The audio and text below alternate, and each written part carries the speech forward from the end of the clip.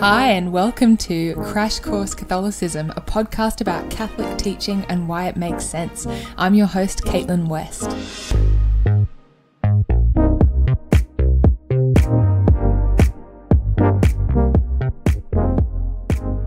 Alrighty, so this episode is on the Holy Spirit. Okay, now I don't know about you, but personally, I kind of find that of the three persons of the Trinity Father, Son, and Holy Spirit the Holy Spirit is the person that I kind of have the hardest time connecting with, right? Or sort of relating to. And I guess when you think about it, it makes sense. Like if I say God the Father, well, I have a father, right? Most of us have some sort of father figure in our lives, uh, or we've seen father figures, and so we know what that relationship looks like. So even if I don't have like a clear picture in my head of what God the Father looks like, even if to some extent he's a mystery to me, I still know how I should relate to him.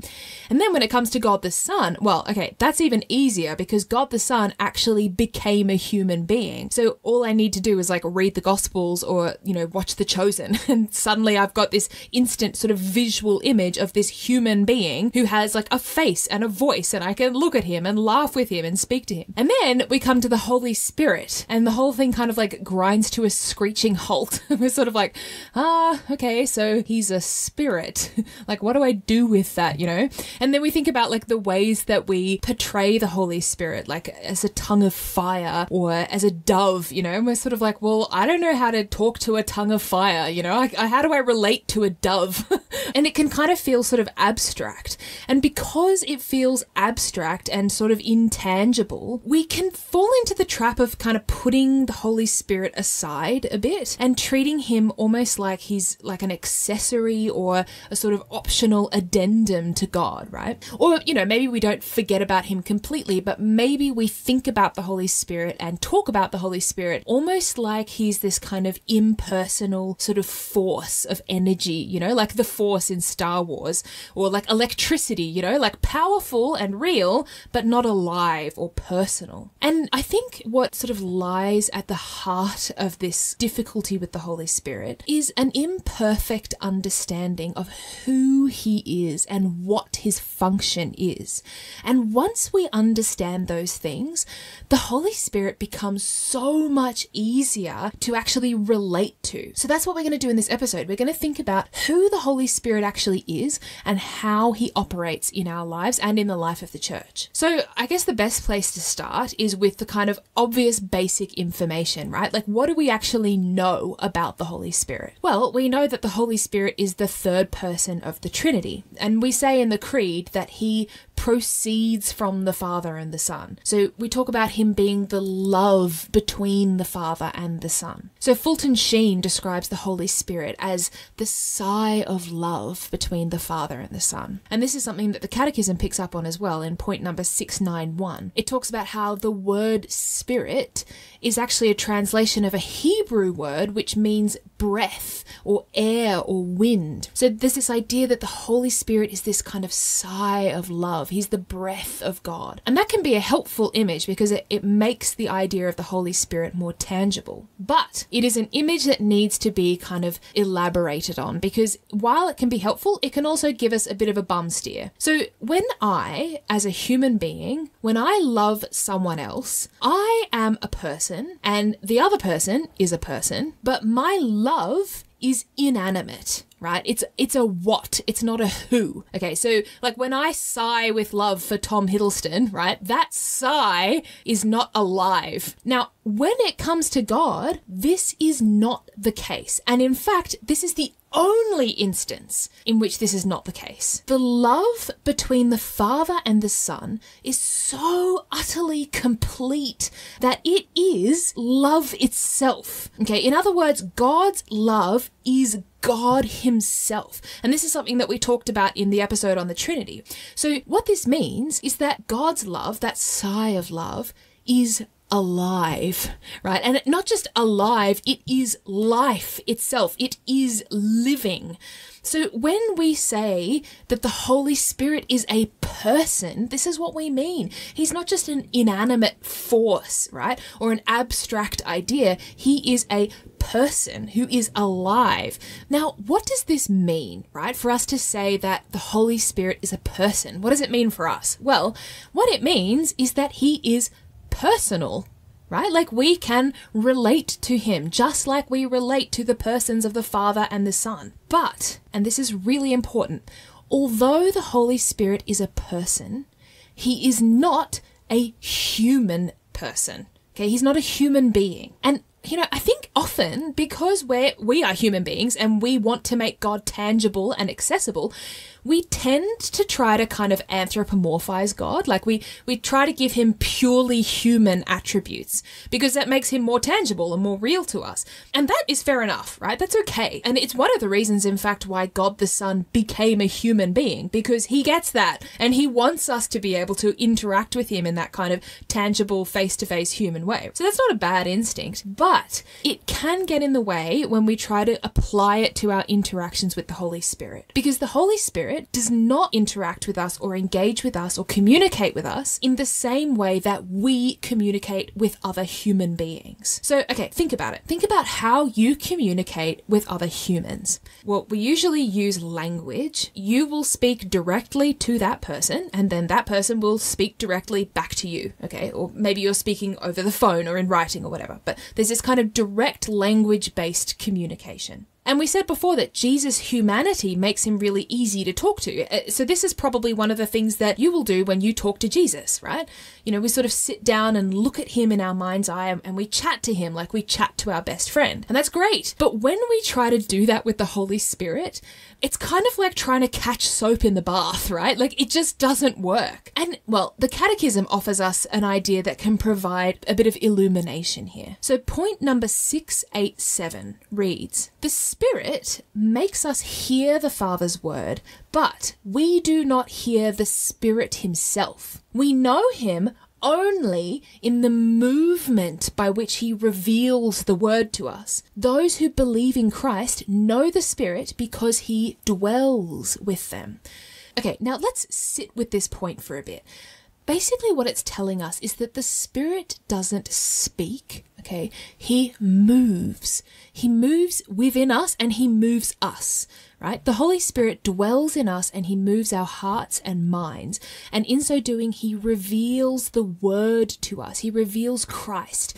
And Christ in turn reveals the Father. So in point number 683 of the Catechism, it says, the Holy Spirit comes to meet us and communicates to us the life that originates in the Father and is offered to us in the Son. So the image that comes to mind here is of like a little kid. You know, if you've ever interacted with a little kid who's like too young to talk, right? They don't communicate using language yet, but they want to play with you and they want to show you something or they want to take you somewhere. So they come up to you and then they take you by the hand and they lead you where they want you to go, right? Or maybe they bring something to you and they show it to to you. So they communicate through movement rather than through language. Now, this can be a source of frustration sometimes when we pray, right? Because sometimes we sit down to pray and we want our dialogue with the Holy Spirit to be like a conversation that we would have with any other human being, right? So we sit down and we say, okay, Holy Spirit, this is what I'm thinking at the moment, or I'm not sure what to do about this, or this is what's on my mind. What do you think? And then we'll just sort of sit there waiting for an answer, and we're sort of expecting the Holy Spirit to be like, Well, Caitlin, this is what I think of your problem. You should blah, blah, blah. And of course, you know, sometimes we do get a pretty clear sort of sense of what God is trying to say to us when we pray. Or maybe it's a bit more abstract. Maybe like a, a line from something we've read might pop into our heads, or something from the gospel of the day or whatever might occur to us. But more often than not, the Holy Spirit doesn't speak to us in words, but rather he moves us towards the good.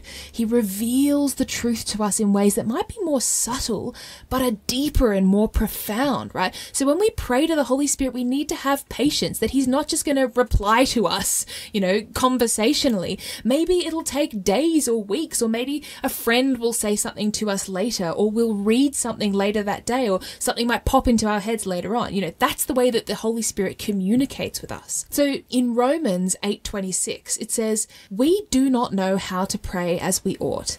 but the Spirit intercedes with sighs too deep for words. So that's how the Spirit speaks, right? He sighs, and that sigh moves us towards the Son and then in turn towards the Father. But the thing to bear in mind is that the Holy Spirit always responds to our prayers when we pray. It's just that he might not respond in the way that we are expecting him to because he's not a human being and we're not sitting and talking to a human being. Now, if we return to that image of a child kind of taking us by the hand and leading us somewhere, that image is helpful, but it can also be a little bit misleading because the Holy Spirit isn't someone that is external to us, this external force that's tugging us along. Rather, if we're in the state of grace, the Holy Spirit dwells within us, right? He's like he's like blood pumping through our spiritual veins, except that the difference is that this blood is alive, right? It is the living divine life of God flowing through us. So point number 735 of the catechism says that the Holy Spirit gives us the very life of the Holy Trinity. And this life is what brings us to life. This is what makes it possible for us to be holy. So, without the divine life of the Holy Trinity flowing through our veins, we cannot possibly become holy. So, there's this book by Jacques Philippe called In the School of the Holy Spirit. I really recommend you read it if you haven't already because it's just absolutely fantastic. But he begins this book by pointing out the fact that people tend to think that holiness is the work of human beings, right? Like it's kind of our job. There's a certain, you know, set of tasks that we have to carry out, and all we have to do is just carry them out. Like going down a list and ticking off all the things on the list. And when we get to the bottom, we'll be holy. It's kind of like if you were lifting weights, right? You just have to add a little bit more weight every time, and eventually, if you keep going, you'll look like Arnold Schwarzenegger, right? But Jacques Philippe goes on to say that actually it is impossible for us to attain holiness by our own power. It doesn't matter how much good we do, doesn't matter like, you know, how incredible we are, if we don't have that spark of divine life in us, we're basically spiritually dead. Yeah, we can't achieve anything. So it's kind of like like a marionette, right? If you pick up a puppet and you use the strings to move its arms and legs, that doesn't mean that the puppet is alive. It doesn't matter how convincingly you're making it sort of dance around. It is not alive. And it's exactly the same with us. Without the Holy Spirit, it doesn't matter how much we're dancing around. If we don't have that spark of life in us, holiness is impossible. And even once we do have that spark of divine life within us, it's not just a matter of like, okay, yep, great, okay, thanks, cheers, Holy Spirit, for giving me that kickstart. Now I'm alive, and from now on, it's all up to me, right? It, like the Holy Spirit is the petrol that's giving me a kickstart, but I'm the one who's driving the car. No. okay, we are never driving the car. That's that's not our job. We are called at all times to let the Holy Spirit guide and direct everything we do. So, if you remember earlier, we said that the Holy Spirit isn't just an inanimate force, right? It is the living God living within us. So, our job as Christians is just to let God live more and more fully within us. So in Galatians 2:20, St. Paul says, "It is no longer I who live, but Christ who lives in me." Now, that is not just like a turn of phrase, right? That is an expression. That's a perfect expression of our Christian vocation. This is what we are called to. As John the Baptist said, he must increase and I must decrease. So ultimately, as Christians, we've just got one job right? Our, we, we don't have to run around like a headless chook, kind of doing a million good things. We got one job. That job is just to be docile to the Holy Spirit, right? That's it just empty ourselves and let the divine life of God fill us and act through us more and more. So, St. Faustina sums this up when she says that the shortest road to holiness is faithfulness to the inspirations of the Holy Spirit, just being docile to Him.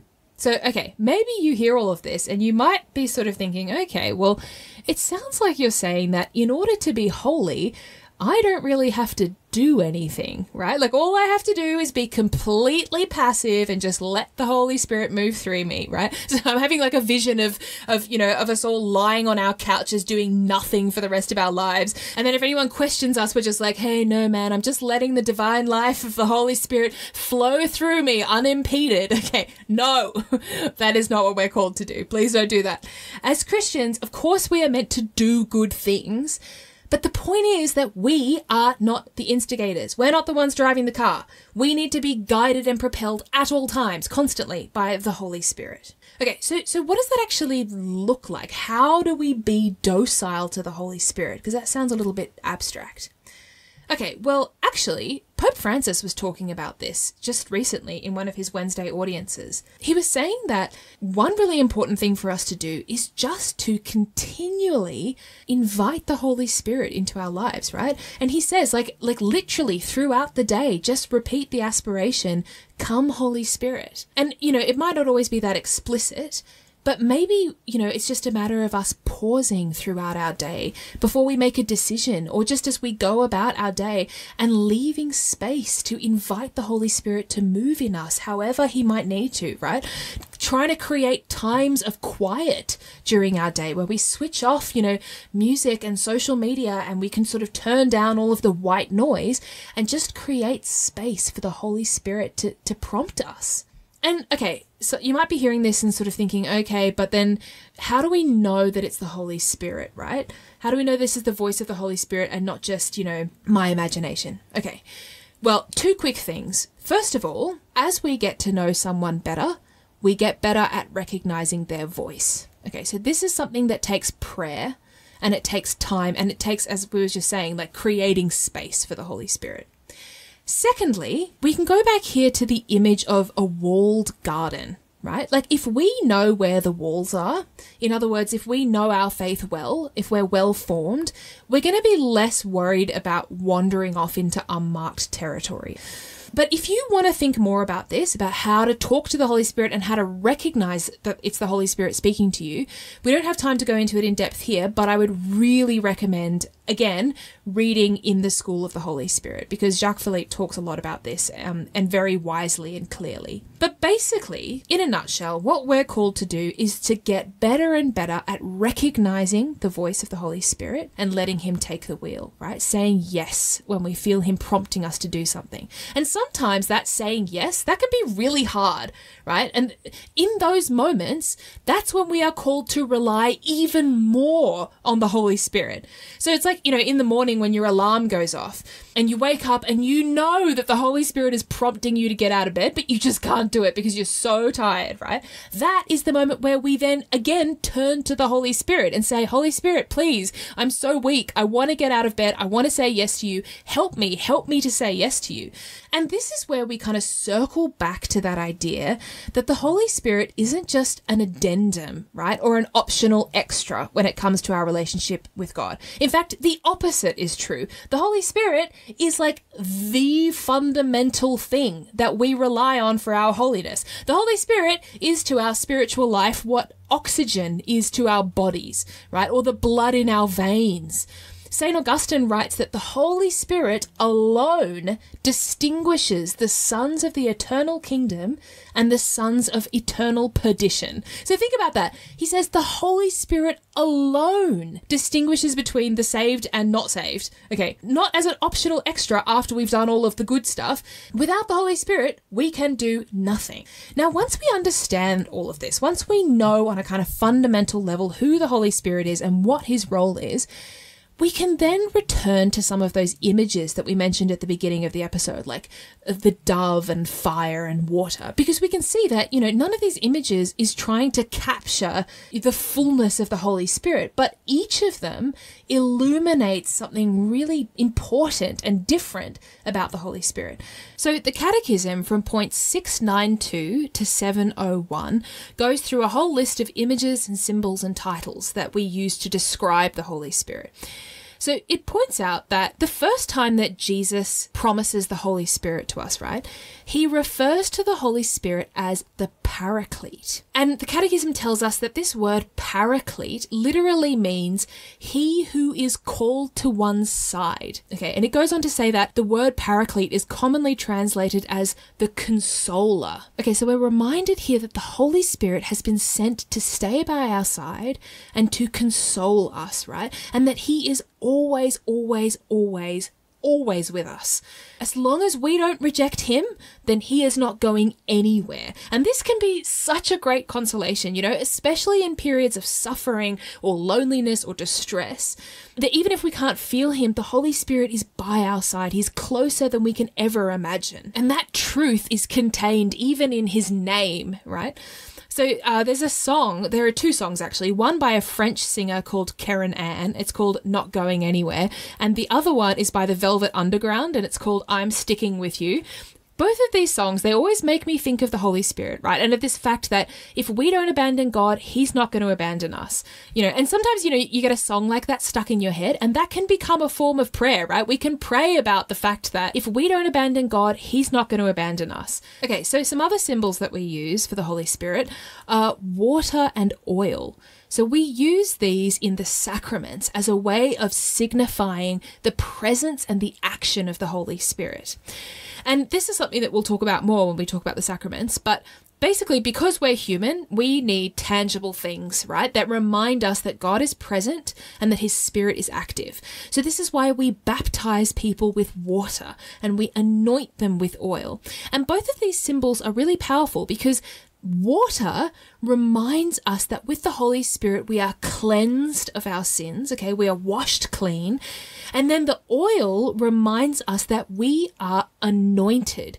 In other words, we are claimed as gods and sent out on a mission. Like in the words of the Blues Brothers, we're on a mission from God. We aren't just baptized, we are anointed. And our mission is to share the Holy Spirit with others. And this leads us to the next symbol, which is fire. So here we can think of the tongues of fire at Pentecost. Now, the Catechism says that fire symbolizes the transforming energy of the Holy Spirit's actions. So, you know, if you look at an illustration of Pentecost, often the tongues of fire, they're depicted as these very discreet little sort of like candle flames, like hovering above the heads of the disciples. That is not how I picture those flames, right? I mean, think about what a fire is like. If you've ever stood at a campfire and you've seen that moment where a flame kind of leaps out from the fire, it's always a bit scary, right? It's like, whoa, you have this moment of realizing that it would be so easy for that flame to catch on to something and to just consume it so quickly, right? There is so much energy and power and kind of passion to fire. Fire isn't neat and tame. It is powerful. It, it has the capacity to utterly possess and transform things and also to spread, right? So, as Christians, we are called to burn with the fire of the Holy Spirit and then to share it with others. So, another image that we see a lot, especially in the Old Testament but also in the New, is the image of cloud and light. And often these two things appear together a cloud and light when the Holy Spirit is active. So we can think, for instance, of the transfiguration on Mount Tabor just before the crucifixion, where Jesus is completely transfigured and becomes completely illuminated. And at the same time, a cloud overshadows him and the apostles, and a voice comes from the clouds saying, This is my beloved Son, listen to him. So, this is really interesting the presence of both cloud and light. It reminds us that while we're alive on this earth, there will always be a mix of both mystery and illumination, right? Because we're not in heaven, we don't see God face to face. And this can be really helpful for us to remember that the Holy Spirit will illuminate the things that we need to understand, but He will not illuminate everything. Some things will remain obscure, but that's okay because things that need to be illuminated will be. Okay, and then the final image is the image of a dove. Now, this is an image that has kind of become a bit of like a like a tame hippie symbol, right? And it might strike us as something a bit lame. okay, but but let's just think about what it actually means and what it meant especially to the earliest Christians. So, in the Song of Songs in the Old Testament, A dove is used to symbolize the beloved. Okay, and commentators have seen it as a symbol of the church. And both Saint Cyprian and Saint Augustine, who were early church fathers in the first few centuries, they both talk about how the dove symbolizes the church, and not just the church, but the church unified and at peace. So we can think about how a dove appears holding an olive branch after the great flood to signify this kind of return to stability and peace and safety, right? So the dove is a symbol of the peace and unity that the Holy Spirit brings to the church. And this is a really important idea for us to remember, particularly today when we see this kind of growing tendency within the church to sort of divide into factions, you know, to sort of be like, well, I'm this type of Catholic and you're that type of Catholic, and this type of Catholic is better than that type, or, you know, I do things my way and it's better than your way, whatever it is. In reality, we have all been baptized by the same Spirit into the same church. Yeah. And of course, we all have a different spirit. We have different ways of living our faith and we all have different gifts. And there are infinite ways of living out our faith within the context of, you know, Orthodox Catholicism. But we have to be unified. We're a family, right? A house divided against itself cannot stand. We know that. And it's the Holy Spirit who is love itself who will help to maintain that unity and peace. So when we see that in the church or in ourselves, that tendency to kind of alienate ourselves from other people within the church, we can go to the Holy Spirit and pray for that unity. And if this is something that you want to pray about more or you want to think about more, I would really recommend reading chapter 12 of the first letter to the Corinthians because St. Paul talks a lot about unity and division in that chapter. It's really beautiful. Okay, so those are some of the images that the church uses to symbolize who the Holy Spirit is. And we can pray about each of them, and each of them will sort of teach us something about the Holy Spirit and how he operates in our own lives. Now, when we read the Bible, we might think of the Holy Spirit mostly making an appearance in the New Testament, yeah, particularly after the resurrection from Pentecost onward. But the Catechism reminds us that actually the Holy Spirit is at work throughout all of salvation history from the very beginning, even if he isn't fully revealed until after the resurrection of Christ. So, for instance, we can think about how in the very first chapters of Genesis, we read that the Lord God formed man and breathed into his nostrils the breath of life. So, returning here to this idea of the Holy Spirit as the breath of God. God doesn't just breathe physical life into Adam, but also the life of the Holy Spirit. And this is the life that is lost when sin enters the world.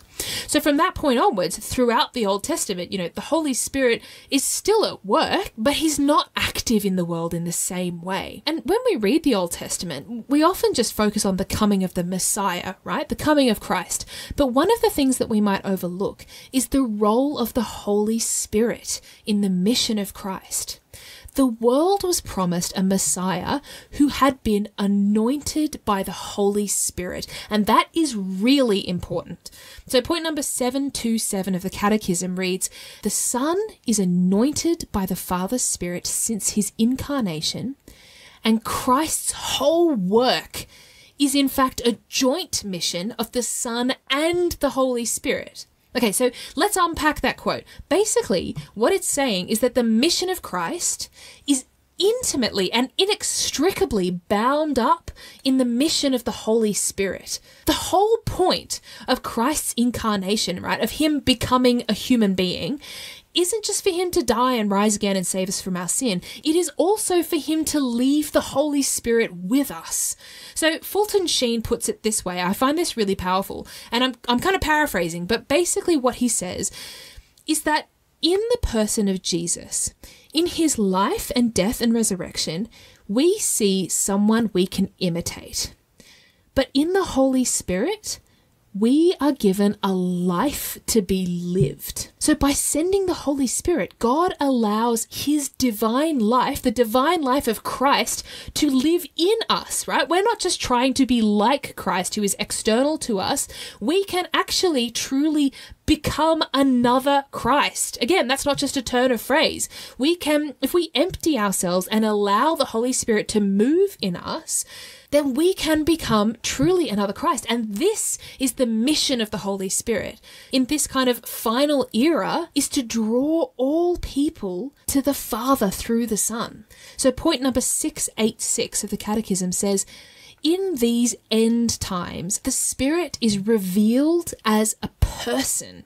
Now can this divine plan be embodied in mankind by the outpouring of the Spirit as the church the communion of saints, the forgiveness of sins, the resurrection of the body, and life everlasting. So, you know, we said in the last episode that this kind of final era is like the era of the Antichrist. It is also the era of the Holy Spirit, right? This is the time of the Holy Spirit. And he will spend the rest of time through the church through tradition, through the magisterium, through the sacraments, through prayer, and through the witness of the saints, he will draw all things to the Father. Okay, and these are ideas that we're going to continue talking about in the next few episodes. We're going to talk about the life of the church, the communion of saints, the forgiveness of sins, and life everlasting. Okay, well, that is where I'm going to leave it for today. Thank you for sticking with me. Our next episode is on the Catholic Church, part one. I can't wait. Have a great fortnight, and I will see you soon. Bye.